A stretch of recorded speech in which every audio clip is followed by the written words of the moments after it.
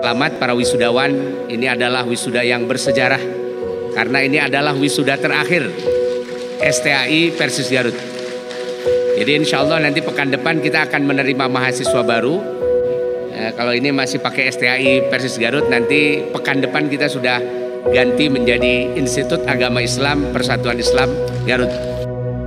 Para mahasiswa kami di IAI Persis Garut ini adalah kader umat. Ini adalah secara spesifik juga adalah kader jamiah, kader persatuan Islam. Yang kita siapkan nanti untuk melanjutkan estafeta perjuangan dakwah yang sudah dirintis lebih dari satu abad yang lalu oleh para pendahulu kita.